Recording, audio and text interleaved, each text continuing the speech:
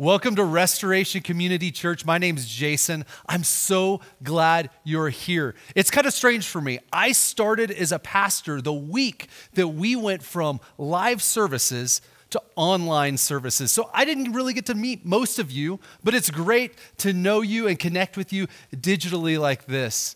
My wife and I started attending Restoration about a month, like February ish, before we started. And one of the things I asked when I came to Restoration, I go, do I belong here? Are these my people? Will I get along with these people? Do you think we could fit in here? And for that month and for the last few months that I've been on staff, I have been so excited and so thankful to belong to this community. Don't we all ask that though? Do we belong? I mean, I ask that all the time. As I was preparing this message, I got really insecure and nervous going, I don't know if I belong. Who am I to come up and speak in front of the whole church or get in front of a camera? I am no Ron Johnson. I don't do cat jokes. I told my wife, Do I need to shave my head? Um, are they, do they like bald guys? Maybe that's, she deterred me from it. But we're all asking that question Do we belong? My wife and I and our family, we moved from Boulder to Denver in January. But November, we were searching for schools, and my nine year old Selah, she's in third grade, and she loved the school in Boulder she was at. She was there her entire preschool through third grade, and all her friends were there, and she was like, I do not want to leave. So I told her, I go, Selah, you can stay in the school for the spring semester. I will drive you to Boulder, but will you try one school out for me and just go shadow this November? So we took Selah to this school in Lakewood that she was going to shadow. And I was just praying. I was like, oh, I hope she makes a friend. I hope she feels like she belongs. And I go and pick Selah up after her day of shadowing. And I look at Selah and I just go, So, how was it?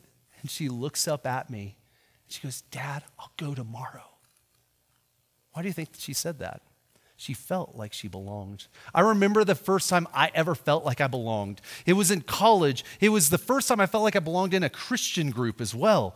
It was these guys that I spent nine weeks with in Breckenridge, Colorado. And it was this summer program where we worked together.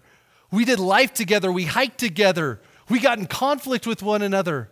But it was amazing because we started to pray with each other we started to read the Bible together. And for one of the, the first time in my life, I just go, these are my people. I belong here. And it was amazing. See, belonging can change us, but there's also a dark side of belonging. There, there's a belonging that can scar you. Have you ever been in a place where you felt like, I want to belong, but you didn't fit in. I remember my freshman formal, freshman year of high school. I asked the girl of my dreams to go to formal with me, and she said yes. And so we go to formal, we dance a couple songs, then she goes over here with her friends, I go over here with my friends, like high schoolers do, and we're hanging out. And then the last song comes on. The DJ plays the last song. Back to One by Brian McKnight. It was my song, and I look around, I'm like, where's my date? And I see her dancing with another guy. And I go, I don't belong. Have you ever walked into a church group where it's your first time there and, and you're like, this is going to be awkward. Hopefully it's not awkward. And then it is because no one interacted with you. You just don't feel like you belong. Or, or maybe you're new to the team or your new job and people treat you poorly because you don't belong. See, belonging can scar us. For some of us, there might even be a relationship or, or, or a friendship where we, we love that person and we were like, we belong together. And then all of a sudden they leave you. You go, oh, I don't belong. See, belonging can change us, but it can also scar us. The question is, is it worth it? And if it's worth it, how do we actually do it? And so today I want to walk you through an unbelievable passage that the Apostle Paul writes in 1 Corinthians 12. And he pins this eloquent scripture in 12 and 13 that talks about belonging. And he uses an analogy of the human body to help us understand how the church, the followers of Jesus, because the church is not the building, The church are people, how the church, the followers of Jesus, are like a human body. And he calls it the body of Christ. So we're going to jump in 1 Corinthians 12 12. It says this The human body has many parts, but the many parts make up one whole body. So it is with the body of Christ. If the foot says, I'm not a part of the body because I'm not a hand, that does not make it any less a part of the body. If the whole body were an eye, how would you hear? Or if your whole body were an ear, how would you smell anything? If one part suffers, the other parts suffer. If one part is honored, all parts are glad. All of you together are Christ's body, and each of you is a part of it. See, what Paul is saying is he's using this analogy, and it's a really interesting analogy because he's kind of flipping an analogy that is part of their culture on its head. See, what people would say in Paul's culture is it would be the idea that we need to distinguish socio and economical classes, and they would call lesser people feet and higher people heads. And Paul's going, that is not how the body of Jesus works. That's not how followers of Jesus works. It's actually completely different. That there is no prejudice, that there is no segregation, that everyone is equal, everyone is, is important. And it, when you bring it together, it becomes a body that is unified, that is diversified, that is amazing.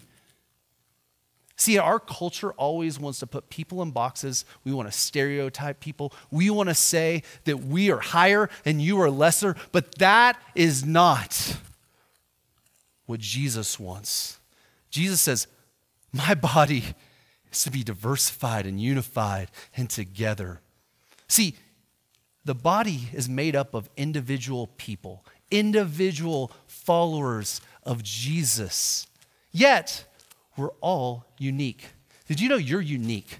God made you. God loves you. God cares for you. He says that He knit you together in your mother's womb, that He knows every hair on your head, and He deeply loves you. He also gifted you. He made you exactly how you were supposed to do so that you can use your talents, your skills to make up the body of followers of Jesus. Paul is saying, You're not alone. You're not meant to follow Jesus alone. You were built to belong. We were built to belong to the body, to the followers of Jesus. So, I'm a recovering homeschool parent. Eh, do I, do I hear any amens out there? I mean, when school shut down during quarantine season, we were like, we can do this. A weekend, we're like, oh my goodness, I don't know how we're going to do it. I had to do third grade math. And I thought, I'm a pretty good, I have a degree in finance. And I realized I can't do third grade math. I, I applaud all you seventh grade parents out there because I don't know how you did it. But we were at the end of our rope. It was two weeks ago. We were at the end of our rope with homeschooling. And my wife is teaching our kindergartner, Judah. He goes to a Christian school. And so they were memorizing a Bible verse out of Hebrews. And they picked a Bible verse that was way too difficult for kindergartners, by the way, and it was like four verses long. And we forgot to help him think through it. And it was a day before the test. And my wife's like, I have no clue how Judah is going to pass this at all. So the next day, she gets ready for the test, and he doesn't know it. So in her, her darkest moment, Molly also is an angel. She's the most honest, do things by the book of any person I know. So this is so surprising. At her darkest moment, she takes an AirPod and she puts it in Judah's ear and plays the Bible verse so that Judah can recite it. And she turns him like this, and he starts going. And the guilt just feel, fills her, and she's like, I'm cheating for my kindergartner on a Bible verse. So she didn't actually submit it. She didn't submit it. So she was good. But are we all at the end of our rope? I mean, quarantine season has brought us all to a place where we have stress. We have relational stress. I know there's so much marital stress happening right now. There were vacations missed, there's financial stress. There were those weddings that got postponed or those funerals that you had to miss. We're all feeling stressed. I have a friend right now, and she's like, Jason, my love language is touch, and I can't touch anyone right now. Like, I don't feel love, and my, my heart breaks for her. See, when we're isolated, we feel alone, but we can also start thinking we don't belong, that we don't belong. Wherever you're at, I want you to stop and I want you to look at me right now. I want you to listen right now. You are not alone. See, we are the body of Jesus. When one part suffers, we all suffer. You might be dealing with depression. You might have anxiety. You might feel all this isolation. You might be financially struggling. Your marriage might be on the rocks. You are not alone. You are not alone. Jesus died for you, and he brought you to be a part of this body. And when you suffer, we all suffer. When one is honored, we're all honored. You are not alone because you were built to belong. See, there is a mystery, a beauty, and amazement about being the body of Jesus.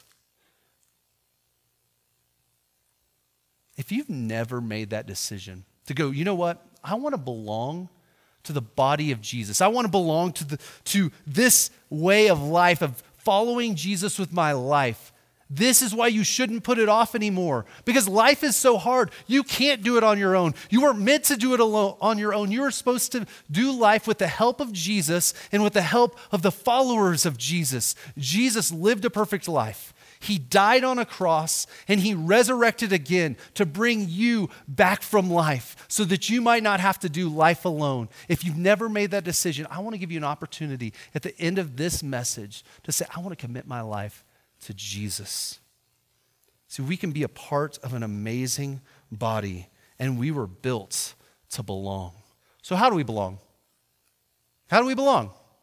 Well, but wait. The question might be do we even really want to belong?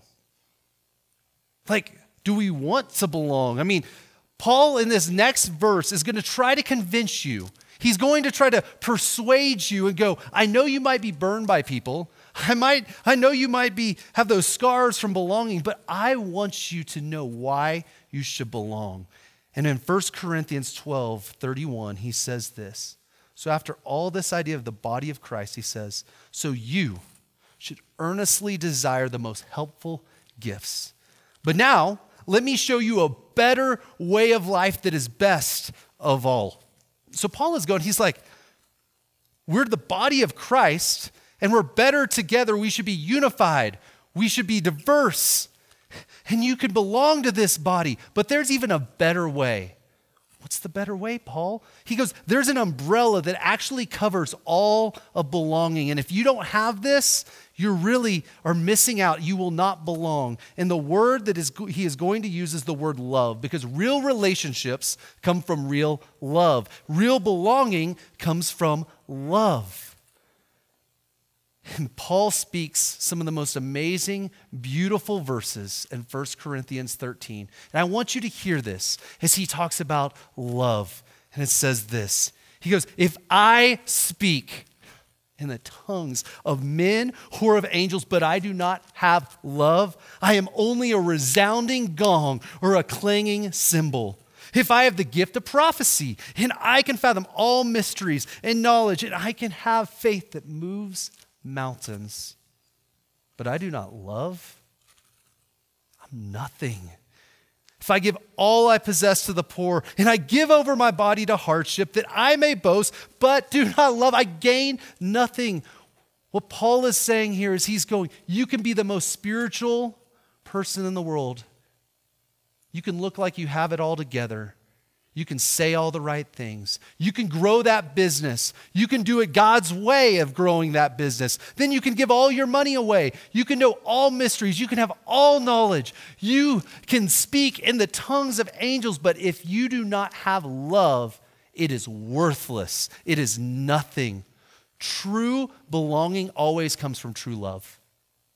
True belonging will always come from true love.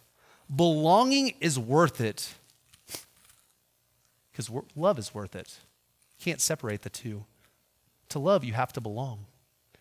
And, Jesus, and what Paul is saying is that the body of Christ, we are to love. Love is the umbrella that covers it all. Brene Brown says it this way I love it. Those who have a strong sense of love and belonging have the courage to be imperfect.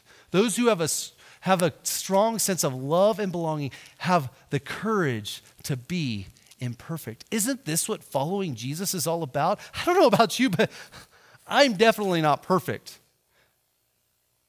To belong, you have to be willing to have this relationship that is full of love and the courage to go, you know what? I don't have it all together. So we, I think we all know this. I think we all want this. I think we all want love in our life. We all want belonging in our life. We desire it, but what we desire also deters us. What draws us pushes us away. Here's what I mean by that. Our past experiences, they shape us. See, belonging changes us, but belonging scars us. So we want it, but we know, I don't know if I want that. See, we want connection, but we go towards protection. We want connection in our lives, but we go towards protection. We protect our friendships, we protect our time, and we protect our heart. I want this kind of belonging, Jason, but you don't know my life. Like, I'm working 60, 70, 80 hours a week, and there is no way that I can have this kind of relationship in my life right now. Or for some of you, you're like, if I have to go to one more awkward small group, I mean, I went to that one that one time and it was so awkward. I felt judged. I, I, have more experiences of awkwardness from that moment for the rest of my life. I'm not going back. And for a lot of us, we've been burned by people, we've been hurt by people. And you go, I'm not putting my heart back out there again. I'm not doing that again. I don't want to get burned. You know what? I get it. I feel the same way. For me, even as I share this, I have this tension right now. I've been burned by people. I came out of a ministry that was amazing that I got to lead for 12 years. And I was hurt from some, from some relationships. And there was a masses, massive amount of tension in, in those relationships. And I lost some close friends for a little bit. And I remember looking at my wife, Molly, and just going, I don't know if I ever want to do that again. I never want to get close to people again. So if you feel like I do, I get it. But you know what got me back? You know what has me here speaking to you today? You know what makes me want to belong to the body of Jesus, to followers of Jesus, to come alongside people, to have friends, and, and be a part of this church? Is because this is where the love is. You got to belong to have love in your life. And even though you're scarred, even the wounds are still there, you got to come back. You got to belong to feel the love. And it was so redemptive the other day. I got to talk to one of my friends, Tim, and I was talking to him. I'm like, man, he knows my story, He knows my hurts, and He knows how I'm a little bit like, I don't know if I want to go belong with people. And he just looked me the eye, in the eye and he goes, Jason, I'm so glad you moved to Denver. I'm so glad that we're in friendship. I'm so glad that we have this deep connection and that we belong. And at that moment, I just felt these wounds of my heart start healing. The scars are still there, but it doesn't prevent me from belonging because this is where the love is. You can't love those you don't know. The secret sauce of following Jesus is belonging to the body, belonging with people that follow Jesus and doing it together. So, how do we do this practically? Well, there's lots of ways. Restoration, we are trying to do things this summer to, to make people feel like they belong because you do belong. We're supposed to be together. Even though we're isolated, we want you to have an atmosphere where you can belong. We're going to have summer at Restoration. We're going to have a lot of things going on in the parking lot where you can bring your family, your friends, and we can just have a great time while social distancing. Then we can also do some service activities. We have some awesome compassion opportunities that we're going to do this summer. And then a lot of people are joining digital online groups. We have record amount of people in our digital groups. People are meeting almost every day on video conferencing, just meeting and sharing life with one another and connecting and they're belonging and they're, they're suffering together. They're honoring together. They're side by side as the body of Jesus. And I just want to thank you. If you're leading a group, thank you. Thank you. If you're, if you're a part of a group, thanks for being a part of it and, and really digging into that idea of belonging. And if you're not in a group, oh no. I, I knew he was going to do this. I knew he was going to try to recruit me to a group. Okay, hold on with me for just one minute, please, please. We have tried to take every obstacle out of the way. If you're not in a group and you're like me, I don't know if I want to belong, I just want to ask you to try it once. We've taken every obstacle out. We're, we made a, some of our groups six weeks long. They're six weeks, so there's not that much commitment. They're 30 minutes. It's really quick. We just jump on a Zoom call, we talk for a few minutes, catch them on life, and then we look through a passage of the Bible and then we ask how we can pray for each other, and you're done. You don't have to put pants on. We don't care what you're drinking. You, we just want you to be a part of it. We want you to belong. We want you to be a part of the body of Jesus. And if you're traveling this summer, you can be a part of this group. You can watch any, you can come and be a part of it anywhere in the world. I want to challenge you to jump on our website and sign up. And I know there are people right now. I see you watching from Houston, Texas, from Tampa, Florida from Prescott, Arizona. Thank you for joining us. You could be a part of a restoration group. We want to invite you to belong to our family, to our community. You can join with us. And you might be thinking, you know, I have a lot of friends that are kind of lonely right now. They need to know they're not alone. Maybe you should start a group. Maybe you know, like, you know, they're not going to show up to just any group, but if you invited them, they would come to a group. Maybe you need to start one.